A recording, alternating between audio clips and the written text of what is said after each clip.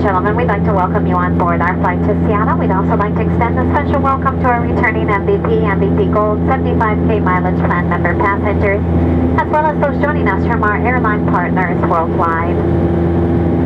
You're invited to use your portable electronic devices at this time as long as they do not send or receive any signals throughout our flight. If you have any questions about which devices are approved for in-flight use, look in the back section of the Alaska Airlines Horizon Air Edition magazine.